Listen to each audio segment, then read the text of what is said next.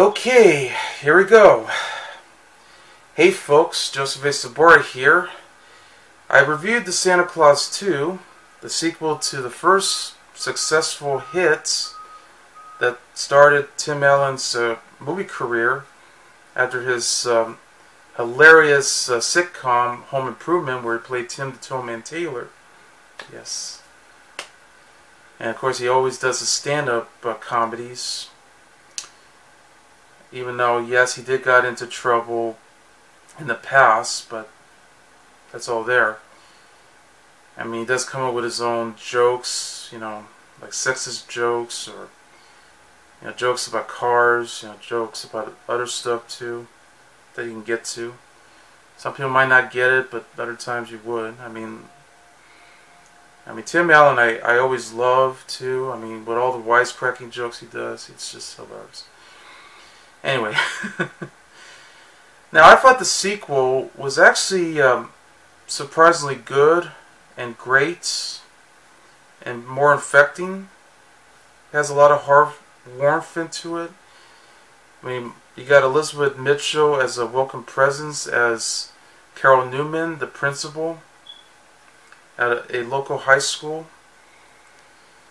Somewhere which the movie was actually shot in Canada, by the way. Uh, keep that in mind, just like the first film was.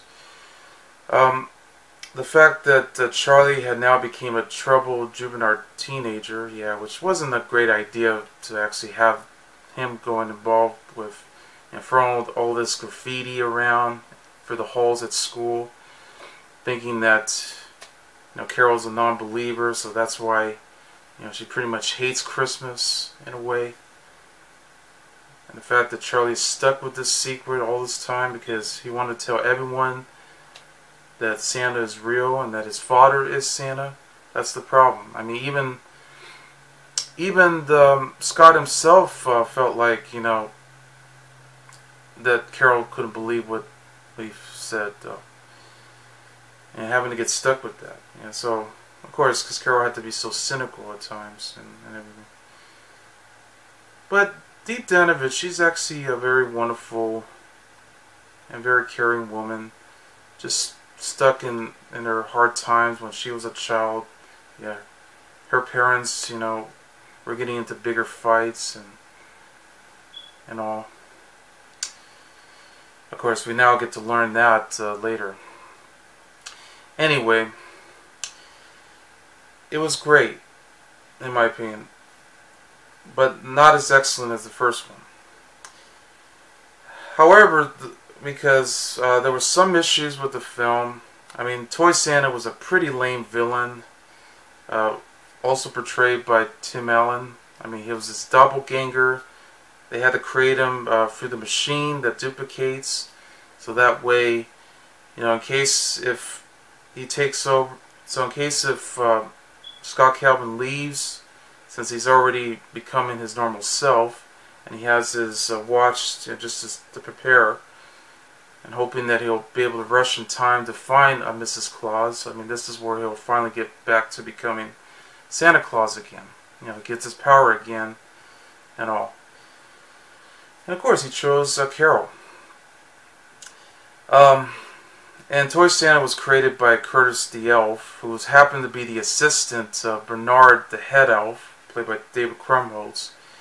And Curtis is played by Spencer Breslin. Now, he was okay, but at times he's very annoying. I mean, he kind of gets on my nerves a bit. I mean, I, I mean, I don't hate the actor. It's understandable because he does have a lisp, you know, just like Michael Ray Bower has. You know, the guy who played Donkey Lips in Salute Your Shorts. And so it's understandable. But the fact that he keeps, like, talking real fast and he starts to act like this, it just bothers me. Um, Toy Santa may have its moments too where I, I forgot to mention that there was some Toy Story references, like the scene where you know they were in a battle, and this is where he actually says the line, "You are a sad, strange little man." And I was hoping I was going to say, "And you have my pity." and also, there was even a scene where he was drinking the entire cup of hot cocoa and, and then he's just going around saying, My, that is nice hot cocoa. Give me some more. I'm feeling very buzz. That sort of thing.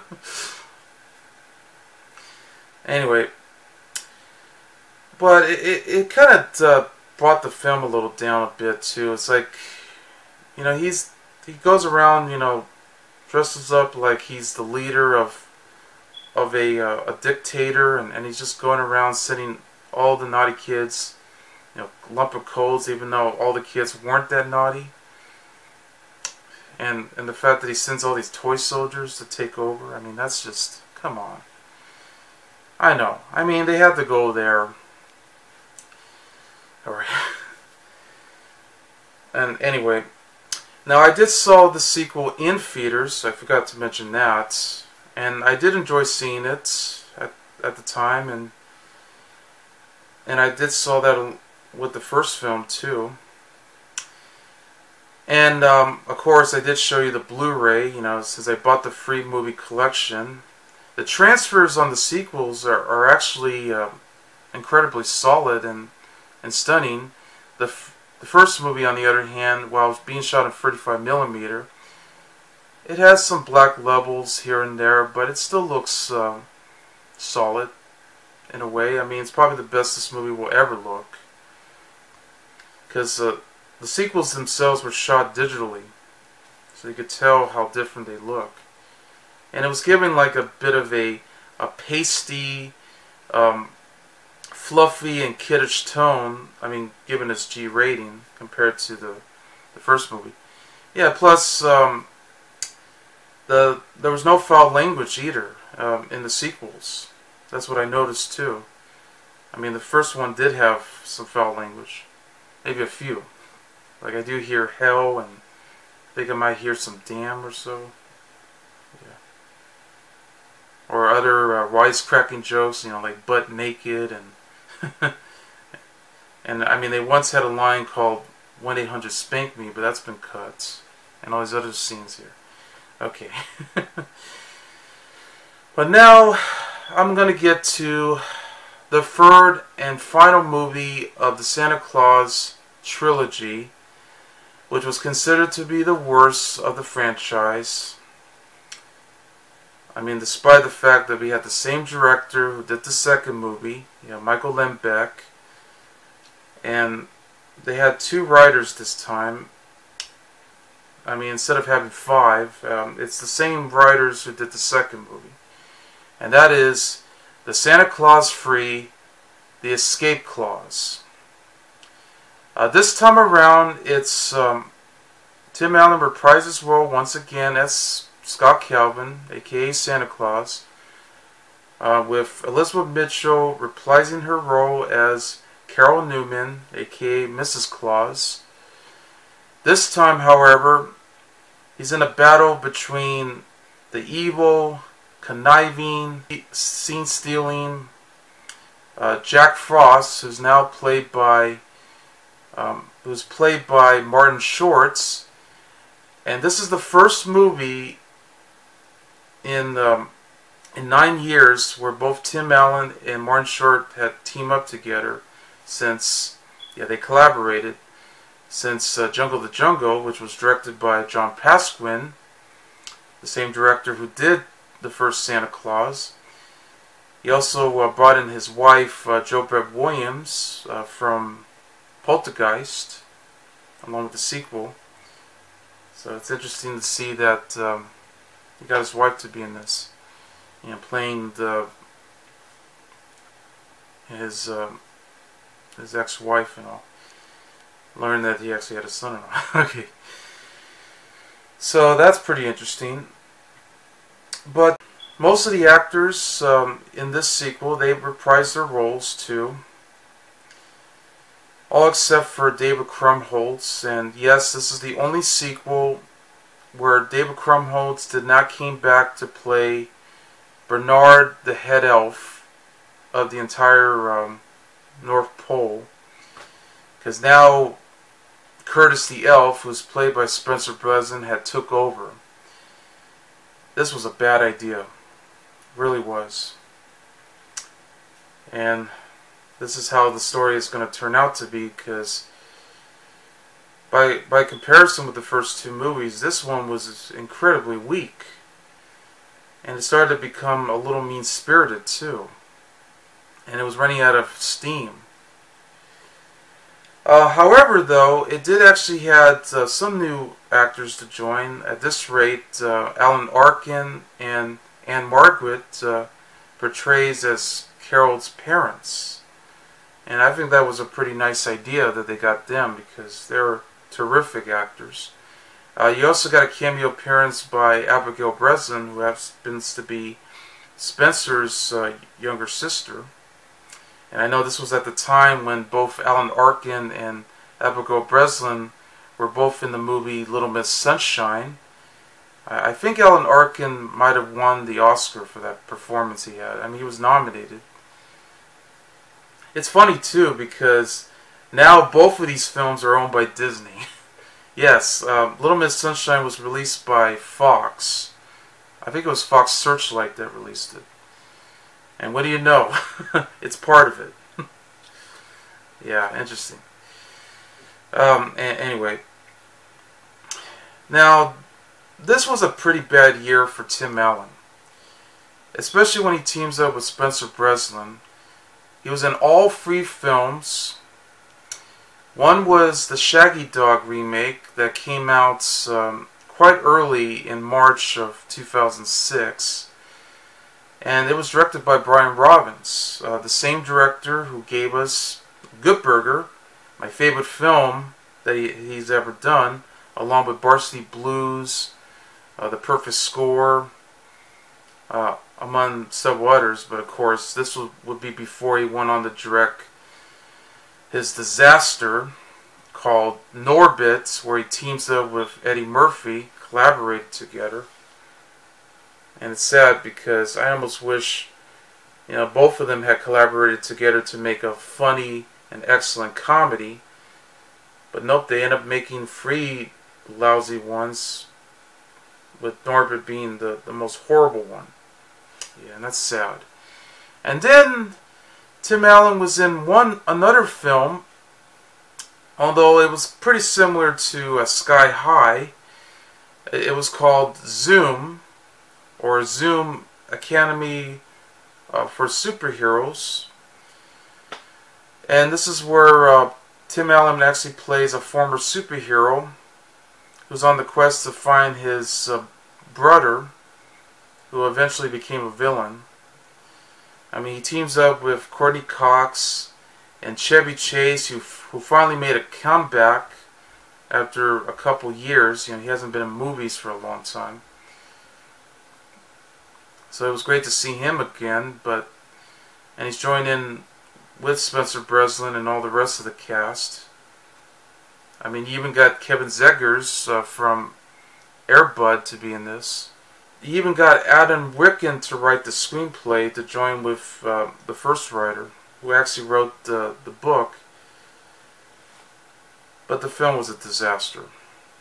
It was tough to watch it was embarrassing to watch, and I couldn't believe it. I actually regret myself having to see that movie in theaters um, along with The Shaggy Dog.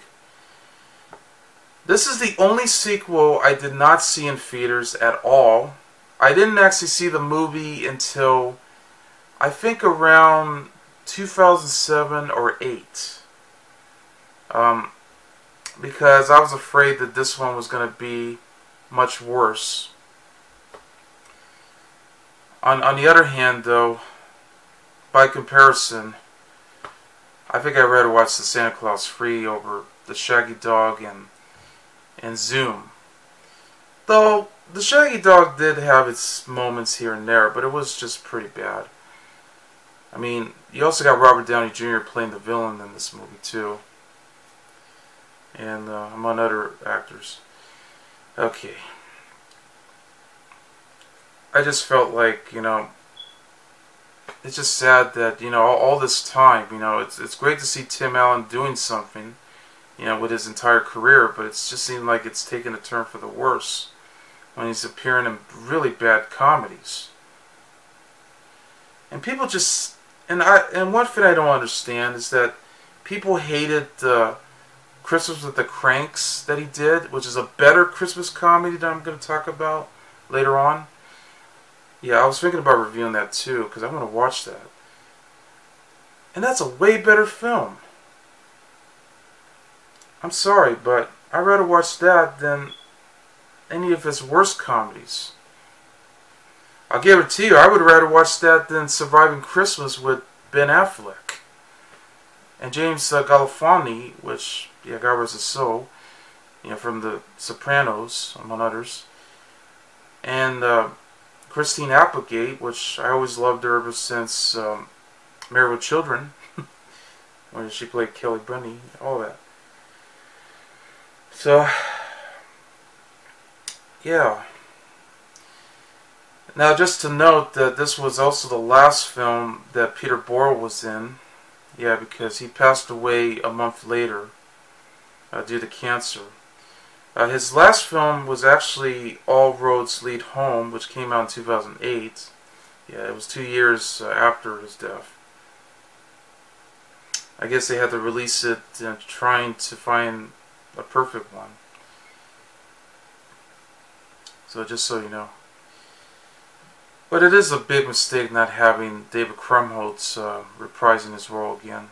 I guess mostly it's because he was doing the TV show Numbers uh, that was on CBS where he teams up with uh, Judd Hirsch from Taxi and Dear John along with Independence Day. So it, it was a crime series yeah, a crime uh, drama series on CBS.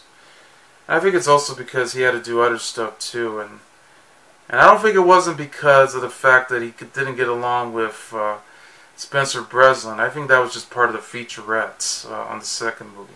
And the whole idea of him was actually not only trying to find a Mrs. Claus so that way he'll get his powers back as Santa Claus, but also to help out Charlie since he was becoming a juvenile teenager. Yeah, which I didn't like the idea that he was going to become a trouble one. It just seems so cliche and out of place. And we also learned that he actually has a sister named Lucy. And of course, still living with um, his mother, who happens to be Scott's ex-wife, you know, Laura, joining in with his second father, uh, Neil no matter what, I mean, they are a terrific family, but they are having trouble with their secrets. That was the idea, and throughout, especially throughout Charlie's childhood days. Okay, and I know I'm taking so long, but uh, let's get right to this movie. It stars Tim Allen, Martin Short, Elizabeth Mitchell, Judge Reinhold, Wendy Crewson, Lillian Mumy, Alan Arkin, along with Ann-Margret, Spencer Breslin, Eric Lloyd, Aisha Tyler, Peter Boyle, Michael Dorn, Jay Thomas, Karen Pollak, Art LaFleur, and Abigail Breslin. It's written by two writers of the second movie, Ed Decter and John J. Strauss, and it's directed by, who did the second one also, Michael Lembeck. The movie begins set 12 years later, which has passed since Scott Calvin has now been portrayed as Santa Claus, played by Tim Allen, and he married the principal, Carol Newman, played by Elizabeth Mitchell, and she has now have become a teacher in the North Pole. On Christmas Eve, she tells a group of young elves, including Trish, played by Abigail Breslin, a story of her life with Scott while expecting their first child to be born. Yeah, she was pregnant, and it kind of leads to a lot of false alarms, you know, with him and, and the elves joining by. Um, therefore, Scott invites his in laws, Carol's parents, uh, Sylvia and Bud Newman, both played by Ann-Margret and Alan Arkin, to the North Pole joining by Scott's ex-wife Laura, played by Wendy Crewson, her second husband Neil, played by Judge Reinhold, their daughter Lucy, played by Lillian Mumy, and of course Scott's son Charlie, played by Eric Lloyd. Meanwhile, he's being joined to a meeting at the Council of Legendary Figures, and joining with Mother Nature, Father Time, the Easter Bunny, Cupid, the Tooth Fairy, and the Sandman, all played by Aisha Tyler, Peter Boyle, Jay Thomas, Karen Pollak, Art LaFleur, and Michael Dorn. They were concerned about the behavior of an evil, conniving, and very schemish and a schemish Jack Frost, played by Martin Short, who is completely jealous that he has no holiday or special occasion in his honor. And because he's being promoted himself during the Christmas season, Mother Nature suggests all the sanitations against him. Scott, on the other hand, is dealing with how to get the in-laws to come without revealing that he is Santa. So he suggested to actually have Jack Frost to negotiate the light sentence of community service at the North Pole, you know, trying to help out with him and, and the elves by putting up all the decorations of Canadian theme Penaminalia. Yeah, trying to make it look more Canada. it's funny though because the first two films were shot in Canada. so just to believe that Karen's parents wants to find out that Scott is actually a toy maker in Canada as he consents. So yes, uh, both uh, Scott and the Sandman have went straight to their house. Um, Sandman accidentally puts in the sleeping powder that caused him to fall asleep, and so is him. So they had to rush by to bring them along into the North Pole just to discover the place. But Jack Frost's um, conniving schemes uh, definitely uh, puts for the ultimate goal to trick Santa into renouncing his position. Curtis, the head elf, yeah, taken over for Bernard, played by Spencer Breslin, inadvertently reveals the escape clause, which now he spills the beans, and then Frost eventually just sneaks into Santa's Hall of Snow Globes and steals one of containing Scott as Santa. Yeah, after he found out the secret behind all that, when Scott uh, took her took uh, Lucy around to discover it uh, inside through a, uh, a a spoof of the Red Bull energy drink, yeah, Red Deer, uh, vending machine that they had to open so it can it can go straight into it.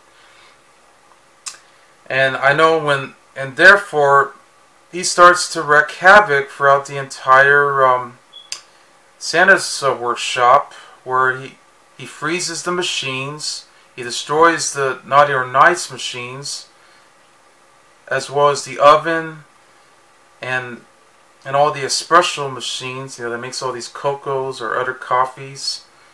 You know, trying to be, you know, suave and and trying to be nice, even though he was indeed being over the top and all, and trying to, you know, flirt around with uh, with Sylvia, you know, and and and, and all, and you know, butter himself up here.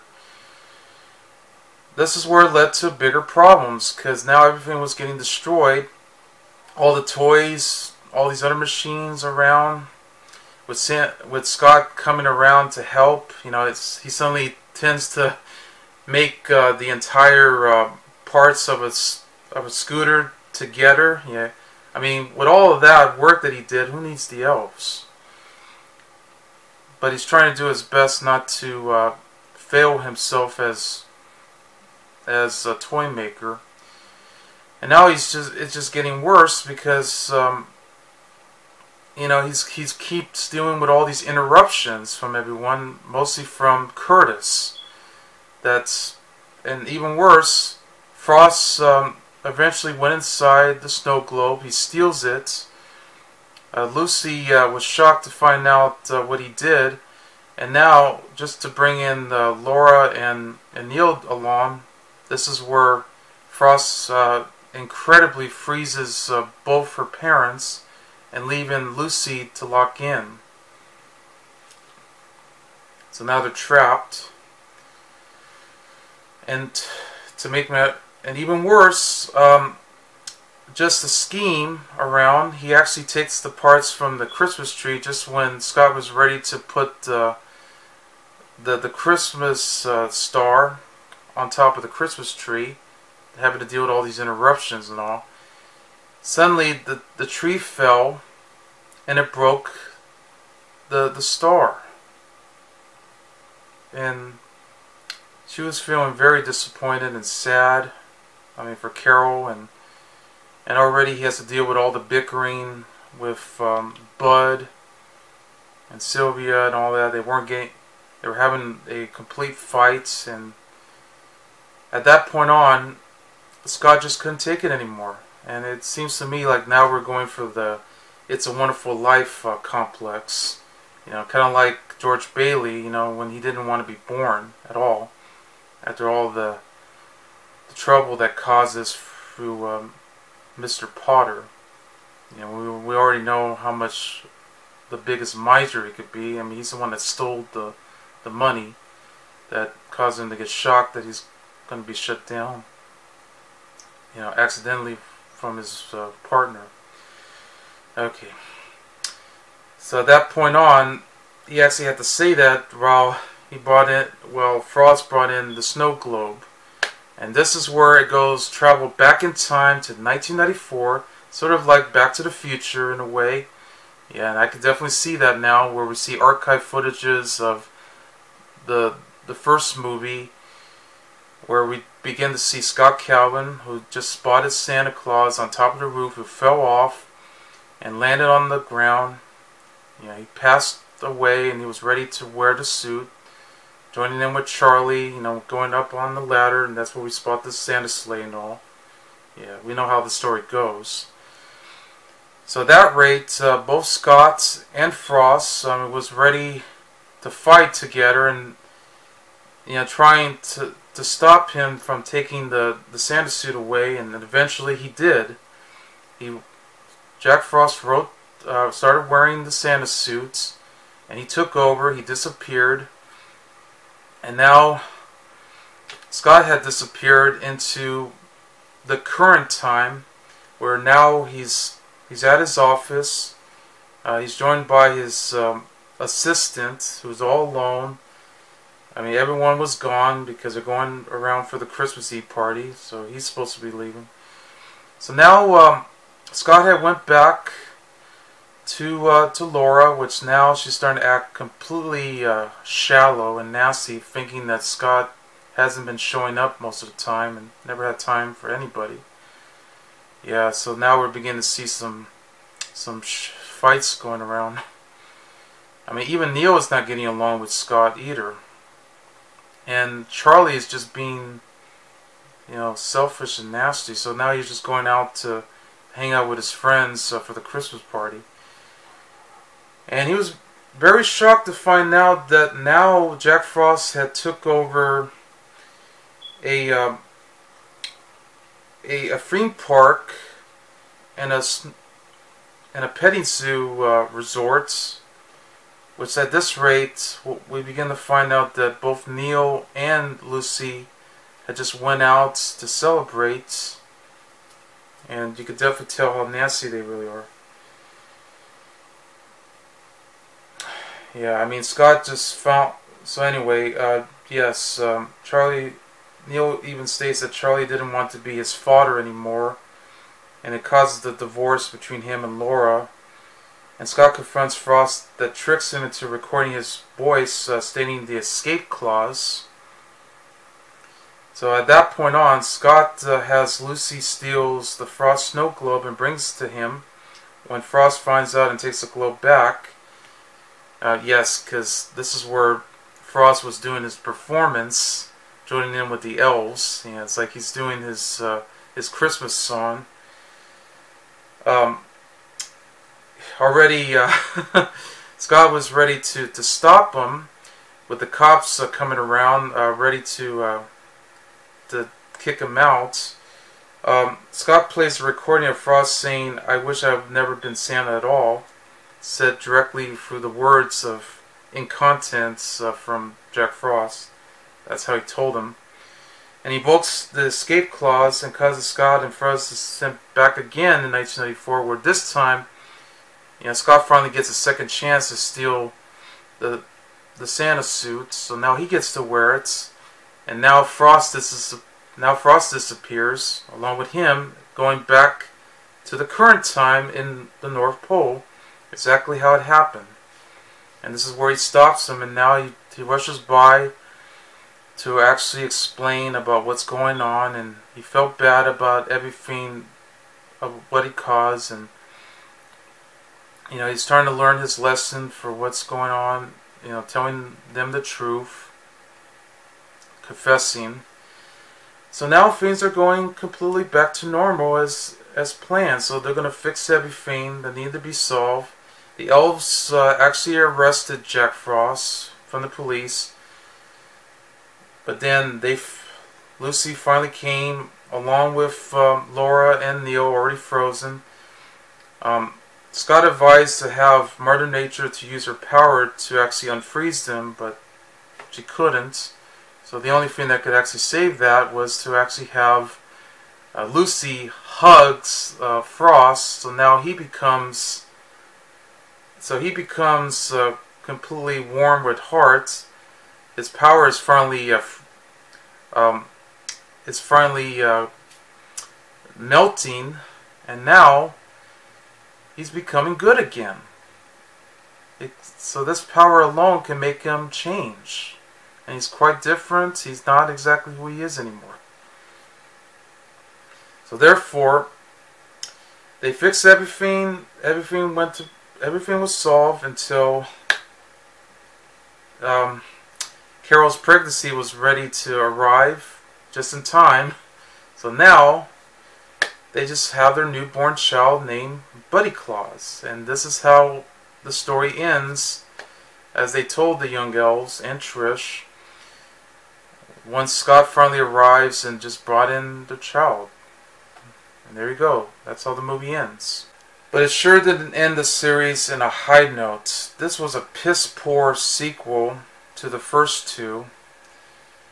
I mean, you could really tell that um, it was getting completely tiresome with all the boredom that it was going through. I mean, the slapstick and the platfalls that it went into were incredibly lame, excruciatingly one too. And it got a bit mean-spirited at times. Well, maybe not too mean-spirited, but just a bit mean spirited and shallow and distasteful. I mean, leaves a bad sour taste in my mouth. That sort of thing. Um, on the other hand, though, it did have its nice moments, but that never, but that couldn't be saved for this entire script. I mean, I guess they really were missing all the other writers to join in. Maybe they could have brought in the, the two writers uh, for the first movie, maybe this could have saved it. Maybe the running time could have been a lot more than just 91 minutes. Maybe it could have been a little bit longer. And in fact, it's also of incredibly insulting the first movie. I mean, it really insulted it really bad, too. And now we begin to see how shallow and nasty uh, Laura and Neil, even Charlie, I mean, the way they're acting and I mean into um, the universe, the alternate universe of 1994. I mean, compared to uh, going straight forward to the the current times. I mean, for 2006. That's where we begin to see how bad it is. And that alone I just didn't like.